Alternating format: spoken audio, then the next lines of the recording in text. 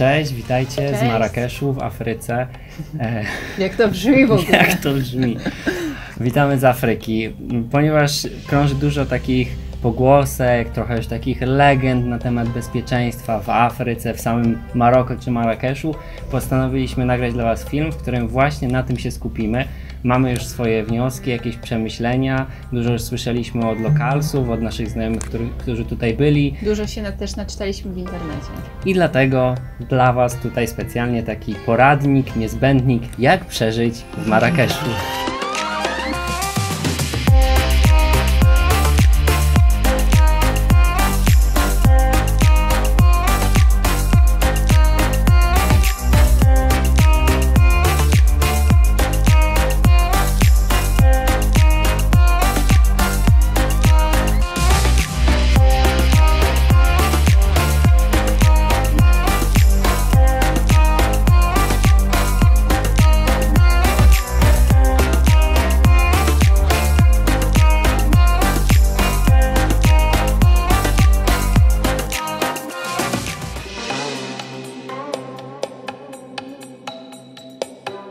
Temat numer jeden to jest sam transport. Jak się tutaj dostać, co pozałatwiać wcześniej, na co zwrócić uwagę. No i przede wszystkim, jeżeli do Marrakeszu przyjeżdżacie na krócej niż 90 dni, nie potrzebujecie żadnej wizy. Natomiast, ponieważ jest to kraj leżący poza Unią Europejską, potrzebujecie mieć ze sobą paszport i tym dokumentem będziecie się przede wszystkim posługiwać. Ponieważ e, nie obowiązuje wasza karta EKUS, niby oczywiste, ale niektórzy są zdziwieni, jak to o tym słyszą, potrzebujecie mieć dodatkowe ubezpieczenie w razie jakichkolwiek wypadków, dolegliwości brzusznych, niebrzusznych. Jeżeli chcecie pójść do lekarza czy do szpitala, musicie mieć obowiązkowo ubezpieczenie. i Dobrze by było wykupić takie ubezpieczenie, które też obejmuje ubezpieczenie tylko Was, ale Waszego bagażu, bo jeżeli tfu, tfu odpukać niemalowane, zdarzy się, że gdzieś Wasz bagaż zaginie w akcji, to macie go ubezpieczonego i przynajmniej możecie odzyskać pieniądze. Jeżeli chodzi o kwestię gotówki, e, nie wymienicie na dirhamy złotówek w Polsce czy żadnej innej waluty, e, dlatego że waluty lokalnej na zdrowie. E, dlatego, że waluty lokalnej nie wolno tutaj wwozić i nie wolno jej z kraju wywozić, chyba że jakieś tam takie drobiazgi. Tak. Natomiast no musicie jakoś w takim razie tą walutę wymienić, no i to też może być stresujące, no bo wiadomo, że różnie to bywa z wymianą na miejscu. Są kantory na lotnisku w Marrakeszu, natomiast e, no jak to wiadomo na lotnisku lepiej nie wymieniać, kursy są okropne. Zdziwiliśmy się, bo okazało się, że kursy wcale nie były okropne, były naprawdę niewiele wyższe niż te w mieście. E, Także trochę na początek gotówki wymieniliśmy. Na dirhamy euro możecie spokojnie wymienić e, w Marrakeszu w każdym większym banku, plus w takich e, lokalnych no, kantorach, miejscach wymiany walut. Natomiast w banku będzie najbezpieczniej. Jak wchodzicie do banku, macie na tablicy podany kurs, więc wiecie za ile kupujecie. E, I to jest moim zdaniem, naszym zdaniem, najlepsza opcja, naszym, prawda? Yy, jak zawsze, tak, tak, tak nasz. Natomiast jak już na, na lotnisku jesteście, no to dalej chcecie się dostać do siebie do hotelu, no i też pewnie nie pieszo z tymi bagażami. Uważać na taksówki, ale to chyba tyczy się wszystkich większych miast, nawet europejskich, po prostu z głową. Warto sobie sprawdzić trasę na Google Maps. Jeżeli macie taką możliwość i my z tego skorzystaliśmy, poproście wasz hotel. E, nawet jeżeli to jest jakiś booking.com, ci ludzie wam chętnie pomogą zarezerwować jakiś transport i to jest lepsza opcja. Albo y, możecie skorzystać z portalu, który oferuje transfery właśnie z lotniska. Możecie zarezerwować samochód w tej i we w te, a także coś większego, jeżeli podróżujecie w grupie. Y, Wkleimy Wam link na dole w opisie, żebyście mogli sobie zobaczyć, jak to wygląda. Ceny są bardzo przystępne. I też jak już dojedziecie tą taksówką mniej więcej pod wasz hotel, riad, cokolwiek by to nie było, to pamiętajcie o tym, że tutaj w Marrakeszu, bo ja na przykład wcześniej tego nigdzie nie widziałem, od razu podbiegają do was tragarze z hotelu i to są po prostu ludzie, którzy często udają, że są tragarzami z hotelu i mogą was zaprowadzić albo rzeczywiście pod hotel i to jest najlepsza opcja, albo nie pod hotel, więc na to trzeba uważać. My akurat jak podjechaliśmy, to rzeczywiście czekał nas taki pan i bardzo się broniliśmy, ale kierowca nam wytłumaczył, że tak, tak, tak, on jest z naszego riadu i tutaj nam pomoże, nie chciał od nas pieniędzy, nic nie, nie wyciągał, nie wyłudzał. Pamiętajcie, żeby na to uważać. Dokładnie, bo y, słyszeliśmy historię, że taki tragarz, tak jak Przemek powiedział, podbiegł, szybko tutaj zahachmęcił, ogarnął, wyjdziecie za nim, a on Was prowadza w ciemną, ciasną uliczkę, gdzie na przykład stoi trzech gości z jakimiś nożami, albo w mniej takiej hardkorowej opcji, że już y, dotransportowuje wasz bagaż do hotelu, ale żąda zapłaty, która jest jakaś tak niewspółmiernie wysoka do tego, co właśnie zrobił. Temat numer dwa to komunikacja w mieście. Miasto jest bardzo zatłoczone, ruch jest przeogromny, niepoważny. To jest jeden wielki chaos. Jakbyście z góry popatrzyli na, na to, co się dzieje, to jest po prostu ludzi jak mrówek i, i szaleństwo. I o co chodzi? Jest bardzo dużo aut, ulice są bardzo ciasne, Jeszcze więcej skuterów i motorów. chodniki nie do końca wszędzie są, więc ludzie chodzą też ulicami. istnieją. E, wszyscy właśnie tymi motocyklami, skuterami, rowerami albo jakimiś takimi taczkami. E, Osłami. osły jeżdżą po konno. ulicach. I wyobraźcie sobie, pasów jakoś chyba też nie zwróciłem chyba nie ma. Z dwa razy widzieliśmy pod meczetem. Mhm. Więc generalnie tak wszyscy jeżdżą gdzie chcą, jak chcą. E, No i z czym to się wiąże? Jak my sobie idziemy, spacerujemy i oglądamy, jak to nieprzytomni turyści, no to nagle się okazuje, że dosłownie co 5 sekund, dosłownie parę centymetrów od nas, ktoś przejeżdża skuterem, trąbi, wciskają się tymi skuterami czy motocyklami, więc no trzeba uważać, więc może bez jakichś takich gwałtownych ruchów, e, trzeba po prostu tak ogarniać na miejscu, być tutaj i teraz. Pamiętajcie, że jak tutaj przyjedziecie, żeby trochę poobserwować, jak to wszystko tutaj wygląda, bo w pierwszym momencie to jest taki szok kulturowy, że w ogóle nie wiemy, co się dzieje, po prostu jest tak głośno i ludzi tyle się koło nas przemieszcza i nie ludzi, w ogóle wszystkiego. Nie wiem. E, oni tutaj w miarę się stosują do jakichś tam zasad, ale w miarę. Dla takiego Polaka e, przeciętnego to jest dość szokujące. E, I szokujące jest też to, że pieszy tutaj nie ma pierwszeństwa, absolutnie w ogóle żadnego. Żeby przejść na drugą stronę ulicy, musicie walczyć, dosłownie przyciskać się, przebiegać, czmychać, bo y, nawet jeżeli zdarzy się, że y, samochód się zatrzyma, to motor już raczej tego nie zrobi, więc y, przechodzicie raczej na własne ryzyko i jak już wiecie, jak to wygląda, to jest ok. Natomiast w pierwszym momencie jest szok. Jeszcze jedna ważna rzecz, suki, czyli targ, taki targ, ogromny targ. Można by podejrzewać, że tam wstęp będą mieli tylko piesi, natomiast absolutnie tak nie jest. Oprócz pieszych wstęp mają także skutery, motory, yy, ko kozły, osły, kozła nie widzieliśmy, ale osły, ludzie z takimi szerokimi taczkami, którzy krzyczą, musicie się przesuwać. Tam też trzeba bardzo uważać.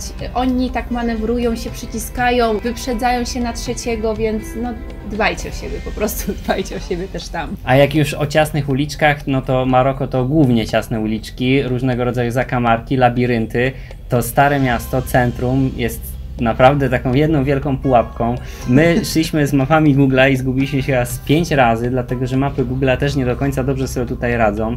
E, To, co na mapie wygląda jak ulica, no w życiu tego ulicą byście nie nazwali, bo wygląda po prostu jak jakieś takie ciasne przejście między wiszącymi koszulkami. Starajcie się zachowywać tak, jakbyście byli stuprocentowo pewni siebie i pewni tego, gdzie idziecie, bo jeżeli nie będziecie pewni siebie, to najprawdopodobniej będziecie zahaczeni przez jakiegoś lokalsa, który wypatruje tylko takie ofiary, będzie chciał Was na siłę y, poprowadzić, będzie udawał super pomocnego, y, a później na przykład zażąda właśnie bardzo dużej zapłaty, czy wprowadzi Was w miejsce, gdzie raczej byście nie chcieli się znajdować w takiej ciasnej uliczce y, wieczorem mogą Wam zgasić światło dla żartu albo nie dla żartu, też nie wiadomo. A jak już znajdziecie się w takiej sytuacji, to też nasz przewodnik nam podpowiedział, że e, najlepiej jednak zgrywać twardziela, dlatego że mała jest szansa, że to, to jest taka poważna sytuacja, że raczej próbują nas, was nadal naciągnąć, zgrywają nie wiadomo kogo, że, że coś tam wam zrobią. W rzeczywistości wszyscy tubylcy są za turystami, dlatego że to jest ich praktycznie jedyne źródło do- dochodu, więc wystarczy, że zaczniecie krzyczeć albo postraszycie ich policją i że najczęściej odpuszczają, uciekają. Tak, policja tutaj jest bardzo uważana, więc zawsze na przykład policjanta warto poprosić o pomoc czy o wskazówkę, Wam pomogą. To też nie jest tak, że my byliśmy bardzo tak nie tyle negatywni, ale asekuracyjnie nastawieni. Yy, I jak szliśmy pierwszy raz do SUK, to po prostu ja byłam przerażona, że zaraz zaczną krzyczeć, że mam to kupować i nie mogę nawet im odmówić. Yy, Oni czasem zaczepiają, nie zawsze. Yy, Kilka razy byliśmy w ciasnych uliczkach i też nie było jakoś źle. Po prostu no, zdrowy rozsądek jak wszędzie, tutaj trochę bardziej zdrowy rozsądek. Unikajcie też takich wycieczek solo. Lepiej być w parze albo w większej grupie Właśnie. ludzi. Trzeba też uważać, jeżeli już w ogóle, jeżeli dziewczyna tutaj podróżuje sama, e, dlatego że nie wiem, czy też czy zwróciłaś na to uwagę, że e, jak tam troszkę się rozdzieliliśmy, Julia gdzieś tam szła dwa metry dalej, no to już się tam jakieś e, chłopaki przyczepiali, już nice, nice, hello, hello, a jak szliśmy razem, to ani jednej takiej sytuacji. Więc myślę, że to też, a już szczególnie dziewczyna solo wieczorem w ciasnych uliczkach. Coś, co przeczytałam online i uważam, że jest super mądre i jak się okazało też praktyczne, to jest to, żebyście nosili ze sobą nie faktycznie paszport, tylko jego skan. Dlatego, że jeżeli ktoś Was okradnie, a może się to zdarzyć, stracicie bardzo ważny dokument, bez którego nie wrócicie do swojego kraju. A mając y, taki skan, jak zostaniecie zatrzymani przez policjanta, to w tym pierwszym kontakcie macie jakiś dokument i dalej na przykład pojedziecie do swojego riadu i pokażecie oryginał. A w y, banku, gdzie przy wymianie potrzebujecie jakiś dokument, to akceptują i podobnie będzie w przypadku kupowania na przykład karty SIM. I odnośnie karty SIM, to jeżeli podróżujecie gdzieś i chcecie mieć dostęp, oprócz do oczywiście y, telefonów, do dzwonienia czy SMS-owania, to też o to chyba jakiś osioł, e, to też do internetu, to naszą radą jest w sumie w, w przypadku wszystkich krajów poza Unią Europejską, mhm. żeby kupić lokalną kartę SIM z pakietem e, danych, co pozwoli Wam na korzystanie na przykład z Instagrama, no, ciągle, Facebooka ciągle. albo na przykład maila, jeżeli potrzebujecie. To nie jest tutaj drogie, my to zrobiliśmy i jesteśmy zadowoleni. I jeszcze dodatkowa rada, mądrze się pakujcie, czyli skany dokumentów, nie same dokumenty, nie cała gotówka przy sobie.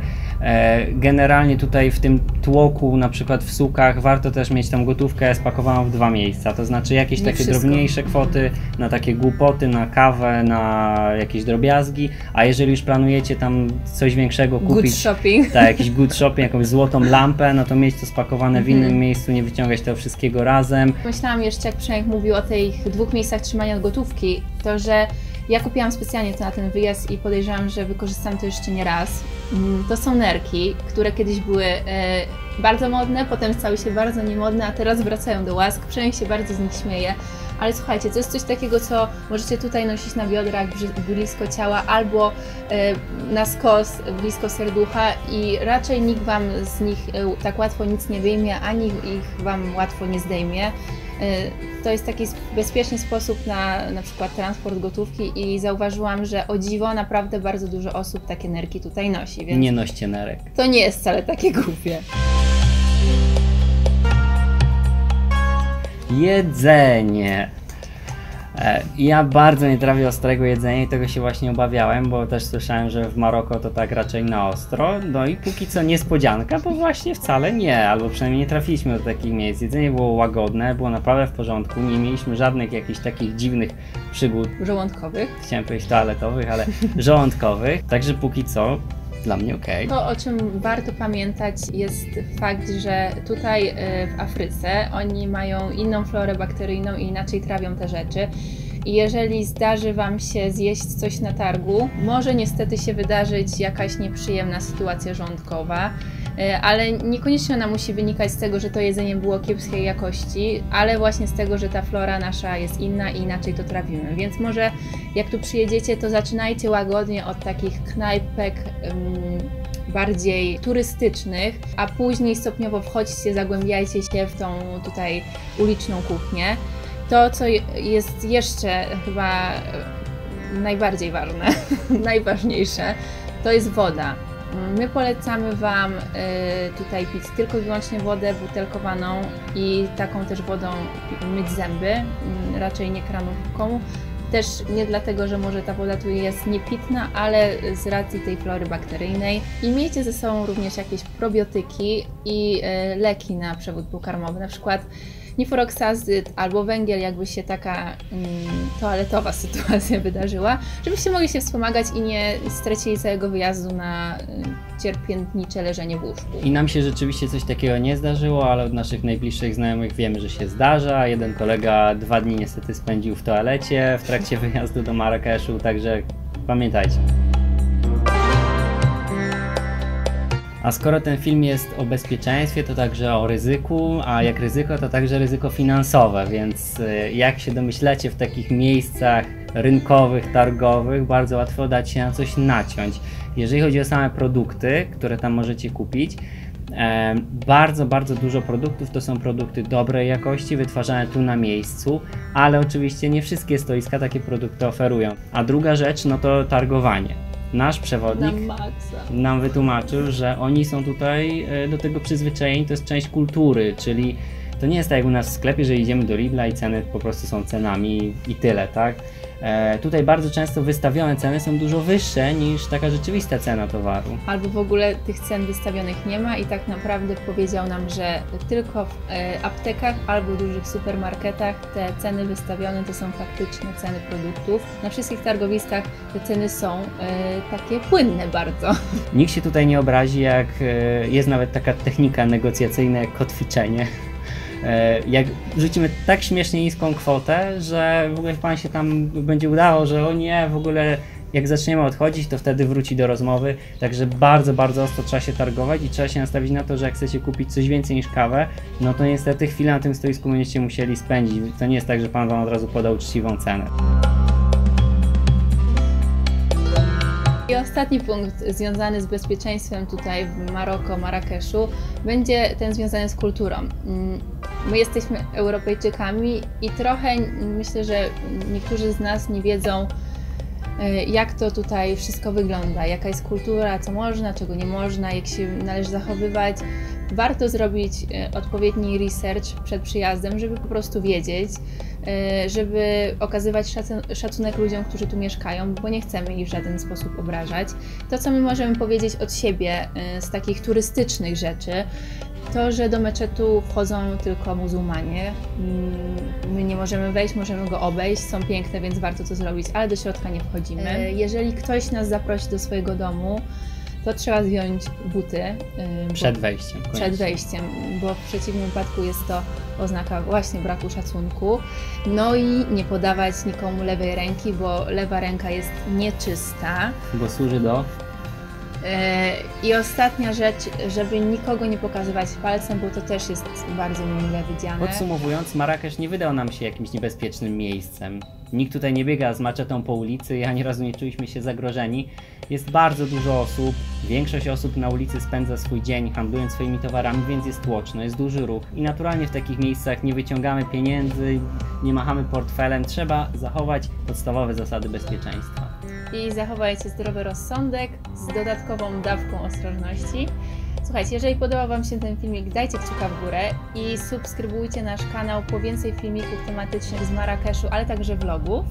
I widzimy się już w następnym. Buziaki. Pa, pa. Pa!